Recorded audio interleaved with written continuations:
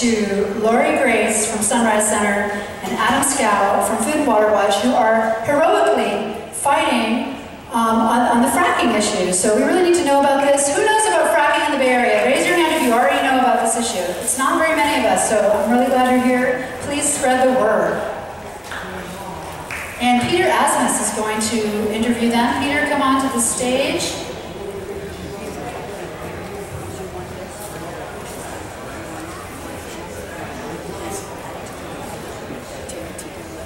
All while organized, I'm just going to mention a few actions. All right, two people took action with Sonoma Biochar. Eight people uh, pledged to be do the plastic ban with Green Sangha. And uh, 10 people have pledged to take care of themselves instead of spending money on products and things uh, with Breathing Retraining Center. There have been two vegan pledges uh, and 18 vegetarian uh, pledges. And one pledge on fracking.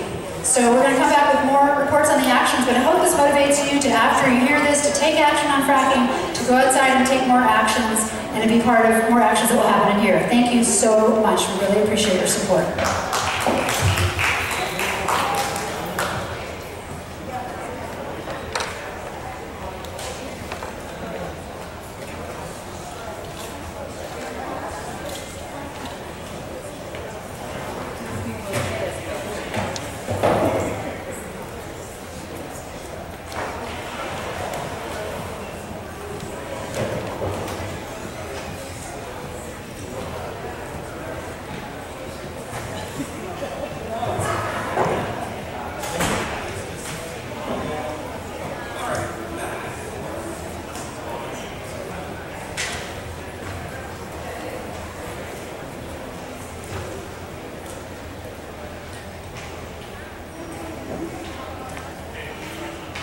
Is this working? Yes, it is working. Okay, well, uh, we were just talking about climate change. Now we're going to talk about natural gas fracking, which is related. Um, I don't think, you know, this fracking thing, I, I, don't think I heard the word fracking.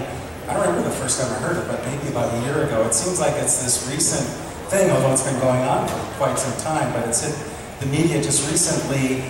Um, and I think I'll just let you both introduce yourselves and then we can ask some questions. But when you introduce yourself, I'd like to know, how did you get involved with this issue? You know, was it something personal? How did you learn about it? How did you get involved with this issue? So, you want to start? Sure.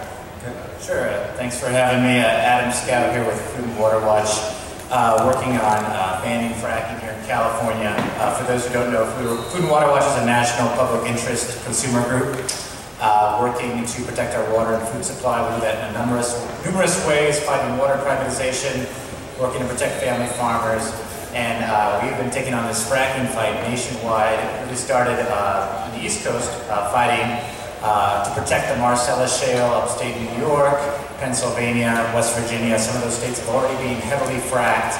And uh, for those who don't know, a quick definition of fracking. Fracking is a process to ease the extraction of oil or gas. You can frack for oil, you can frack for gas. Sometimes people just associate it with natural gas. And I say that because in California, much of the fracking will be for oil. Uh, the process itself involves the injection of millions of gallons of water, toxic chemicals, about 500 of them, uh, and sand, blasted deep underground to explode the shale, the rock, uh, in order to ease the extraction, to freeze up, free up the oil or gas, and they can pump it up. So it's a very intensive, sometimes it can be last a week, sometimes it can last a month, uh, very intensive, very polluting process that has now become uh, underway. And so Food and Water Watch is working uh, to, uh, with citizen groups across the state, across the country, right here in Marin with Lori Grace, uh, to win a ban on fracking. It's going to be a heck of a fight, akin to the Keystone XL fight. Uh, that people are very concerned, and when we all get involved, what was previously thought to be impossible will become possible. So I got involved with fracking on uh, environmentalist beginning of years, helped with the creation of the Marin Clean Energy, among other things, and created a little more. But uh, uh, about uh, six months ago, somebody said, oh, do you know that they're selling uh, leases uh, for uh, fracking in Sacramento? And I had only heard about on the East Coast. And uh, I was shocked uh, because I was aware of the, um, the uh, limitations we have on water in our state, the pollution of water, and also the possibility of earthquakes. And I had heard about the earthquakes in other states that had been fracked. And so um, I really became alarmed, and then I became even more alarmed when I talked to Adam Scow, uh, my friend from Food and Water Watch, and I learned that some uh, some leases have been sold uh, as far upstream on the Sacramento River as Antioch and Sutter County, and uh, that the chemicals like benzene and toluene, toluene were coming down into our bay. And I've also been involved with ocean protection, and I'm aware that dolphins now frequently have cancerous tumors, uh, leopard sharks, and one of our native sharks in the bay are turning up dead in very large numbers. And so, uh, once again, I uh, turn to education, and I truly believe, uh, you know, um, when Peter Joseph showed that film of Obama, if we as citizens in large numbers begin to really express ourselves, I think we have a chance. Otherwise, $100 billion, which is what's been allotted, to begin to promote all of this uh, will win. So I'm so happy all of you are here at this time to, uh, to learn more. Okay. So, um, being someone who's been writing about energy issues for 25 years, I can't believe it's that long already, but it is that long. Um, you know, for a long time, the environmental community and even renewable energy advocates would sort of say, you know, natural gas, it's the bridging fuel, was the term we often heard. It's the, it's sort of, you know, not as bad as coal or oil, and, you know, it also helps when the sun isn't shining or the wind's not blowing. Natural gas, it's often called flexible generation. Uh, unlike a coal plant where it's hard to turn it on right away, it's hard to turn a coal plant like on within five minutes and have it pick up. So there's been this whole argument that natural gas was sort of good for the environment. But I think now with the fracking thing, it's really that whole argument has come under scrutiny. And I just read an article, and maybe you might have paid attention to this, that actually the problem with natural gas is the emissions are methane, which is actually worse than carbon dioxide. Usually we talk about climate change, we tend to talk about carbon dioxide or carbon. But methane, which is, I guess, in essence, natural gas, I think is 40 times or something worse than carbon dioxide. So maybe you could elaborate on that. So when we hear natural gas as this bridging fuel, not as bad as coal, but there's also an extreme downside to natural gas. And I've been hearing there's a lot of leakage, which was not accounted for previously. So yeah, I'd like to answer that in two parts. One on uh, whether it's cleaner, and second on who is it actually for. Uh, on whether it's cleaner, uh, that has been the selling point from the natural gas companies uh, because natural gas does burn a little bit cleaner than uh, oil and coal, uh, that it is a bridge fuel. However, what we're seeing throughout the entire life cycle process and practice of fracking, from the hundreds of diesel truck trips to the uncontrollable release of methane through the fracking process. Because when you're fracking, you're pretty much creating a pipe bomb explosion with fissures all around. Uh, they can horizontally drill once they're down a mile, uh, horizontally out a mile in any direction. And we're seeing um, lots of methane escape, which as you correctly noted is a much more uh, damaging greenhouse gas than CO2. So when you look at the entire life cycle of fracking, it's a comparable to. And this is what a, a scientist at Cornell University has been finding, Dr. Tony Ingraffea. Uh, there's increasing literature on this. And on the leaks, the spills, the accidents, those are the norm with fracking, not the exception. Uh, the second part of who was the uh, natural gas and the oil actually for, uh, you might have heard the U.S. Uh, Energy Association Administration is now projecting the United States to become a net exporter of both gas and oil. Indeed, on the Oregon coast, there are plans to build four export liquefied natural gas terminals to send that over to Asia. Uh, so what we're really uh, coming to uh, understanding the current situation with fracking is if we're going to be allowing the continued contamination of our water and our air so a couple oil and gas companies can get wildly rich exporting the resource to China. Okay. Lauren, did you have something? Yeah, I can also add. I, I want to, again, uh, support you taking an active role. I went to the White House with the American Sustainable Business Council, and uh, the energy representative from Obama's cabinet was there, and he talked about clean fracking. And Is that like clean and, coal? And yep. he was challenged by some members of that council. And he you know, defended it and said this is the administration's point of view. And, then when he stepped off the podium, he said, I don't believe in this either. And, and I've been told to say this by the administration I work for, and please don't mention, you know, the, my personal views, okay? So again, when Obama talks about the people that have to make a kind of pressure to make it so uh, absolutely imperative that the politician speaks on that behalf, and it speaks even more. Also, I, I want to say, again, following through what you were saying, as somebody who's been dealing with climate change issues, um, we are standing to have earthquake-induced uh, uh, earthquakes induced by fracking. Uh, the where they have been fracking was within 25 miles of the Hayward Fault. We're in for another earthquake potentially with the Hayward Fault. We've got Livermore Nuclear Lab and Chevron on the Hayward Fault. And this could be a profound disaster. Also, if you recall from Japan, earthquakes cause tsunamis.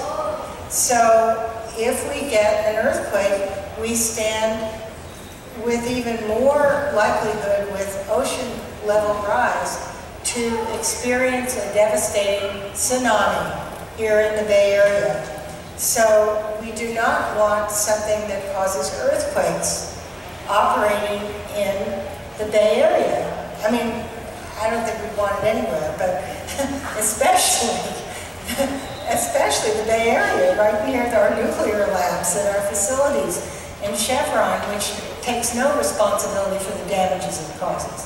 So, you know, again, I can't tell you how much the future is in your hands. So, um, in terms of fracking, you know, I think if you read articles from the energy press, you know, they, of course, hail fracking because it's kept energy prices low and we've had a recession and so, you know, they've been sort of touting it. And it's pretty much, a, uh, my understanding is more North America because, you know, in Europe, they still have carbon limits. So I don't think that, I mean, I don't know. Is, is fracking, I guess that's a question, is fracking pretty much a, a U.S. or North America phenomenon or is it global? It's becoming increasingly global. Uh, okay. Many countries in Europe actually have bans on fracking. That's what I thought. Uh, several U.S. states, uh, the state of Vermont has banned fracking. New York and New Jersey currently have moratoriums. Um, and there are efforts to begin fracking in China, Africa, North Africa. Shell just got a contract in Tunisia, and we are working in Europe to hold it off as well. So yes, it is mostly, uh, it's largely been done in states like Pennsylvania, West Virginia, Colorado, Wyoming, Montana. Uh, one of the big outcomes of that 2005 energy bill, uh, which uh, Dick Cheney had a lot of influence over, uh, were two things. One, the Halliburton loophole, the exemption from the safe drinking water laws that everybody else has to comply with. The dirtiest, most nasty process, fracking, does not have to comply with. The second thing was a massive opening of the Bureau of Land Management lands out in the west. This land is your land, this land is my land. It's actually been mostly turned over to Halliburton's land. And uh, the documentary Gasland uh, documents that very powerfully you see beautiful areas of the West have been turned into these moonscapes of, uh, of, of leftover uh, damage from fracking. Now, uh, one thing I remember, and there was a woman I was working with in Texas, I think her name was Texas Sharon, or she had a website, And we, we did an article together where it's actually easier to frack in a residential neighborhood than install solar in Texas. That's how ridiculous it was. You could actually get a permit to frack in a residential neighborhood, I believe, within weeks or something ridiculously short. Now, that's what I understand is there are even efforts by state governments to strip local government regulatory authority to govern fracking. I think there was a bill in Pennsylvania. I don't think it passed. But is that does that ring true? I mean, absolutely. Uh, in Colorado, uh, a town, the city of Longmont, um, has banned fracking within city limits, and now the oil and gas companies, with the support of the governor, who used to work for them, suing the town. And we're actually hoping to get that law amended uh, to restore a community's right to ban fracking. Currently in California, communities do have that right to ban fracking. Uh, most of the uh, fracking regulation which there is none, by the way, is done by the state of California. It's called the Division, Division of Oil and Gas and Geothermal Resources, also known as DOGGR. DOGGR is uh, very industry-friendly, uh, has been accelerating permits, celebrates oil development. It's actually in its charter to promote oil development above protecting the public health. And here in California, a company doesn't even have to get a permit to frack. Uh, the agency just says, oh yeah, you're drilling, fracking, whatever, tomato, tomato. And so companies have already been fracking uh, the Monterey Shale, this rock formation between San Francisco and Los Angeles, where it is estimated that there are up to 15 billion barrels of oil, uh, much, much of we, which will require fracking to extract. It's also right along our earthquake fault, San Andreas Fault. Lori mentioned that fracking does promote earthquakes. It's absolutely true. Uh, so uh, we are at the precipice of that battle here in California uh, to uh, protect our state from fracking. you know, what's ironic about this is uh, in my last book, which was like the history of uh, California's energy, I don't think a lot of us are aware that we were actually the wildest oil state in the whole country. California, we were like crazy. In fact, there was the Teapot Dome scandal, there are all these scandals, and if you look at old pictures of Huntington Beach, there were oil derricks lining up and down the beaches. And so it was the Santa Barbara oil spill of 1969 which really started the environmental movement and actually started the whole sort of reversal of uh, the oil industry. So of course, that frustrates companies like Chevron and other companies who've been here. And of course, we don't have a lot of offshore oil development, so this sort of fracking thing. And what I heard, I think you mentioned the Monterey Shale, that's the main area that they're interested in. And if you drive through there, you'll notice the oil derricks there. So in terms of what is the status in California, wasn't, is everything like on hold pending some sort of review or where are we exactly right now? Can people frack? Companies frack? continue to frack. The state is undergoing a regulatory process. There's a draft uh, regulations. They're going to be very weak and they're not going to be uh, adequate to protecting the public health. And this is one thing that's clear about fracking. There's no safe fracking. When you're mixing when you're losing all that fresh water, mixing all those chemicals to blast deep underground to extract oil, even if there was a clean way to extract oil, one of the things we're learning about the climate crisis is that we're one small planet. So if we're going to build, burn 15 billion barrels of oil in California or China or wherever the heck we're going to burn them, it's going to have a very bad effect. There's no more away. There's no more escaping from the problem. We're all in it together. And uh, you look at 15 billion barrels of oil and fracking for that, that is comparable climate impact to the Keystone XL pipeline. So this is part of the same monster, the tar sands, Arctic drilling, fracking, offshore oil drilling in the Gulf. It all needs to be stopped. We need to begin the transition to renewables now and not destroy our water resources yeah. for 20 years more worth yeah. of fossil fuels. And speaking of our oil resources, let's remember all the almond farmers that had to stop watering their trees last year. We're talking about thousands, hundreds of thousands of gallons of water being driven down to the earth, of California water. the Colorado River is down to its last legs. You know, uh, down in Southern Cal, they're thinking of creating that pipeline to channel the water down. This is not a state that can afford to experiment with its water. Okay, and on that, we are done. So thank you. Thank you very much. I'd just like to say one thing. I'd like to say if we have a booth right outside, if you want to be part of that uh, group of committed citizens that creates change. Come sign in. We have classes and organizing groups that we're meeting at Sunrise Center with, together with Food and Water Watch. Um, and we have one on May 12th, and we're going to be doing many others. So come to our booth, sign up, and make a difference. Thank you.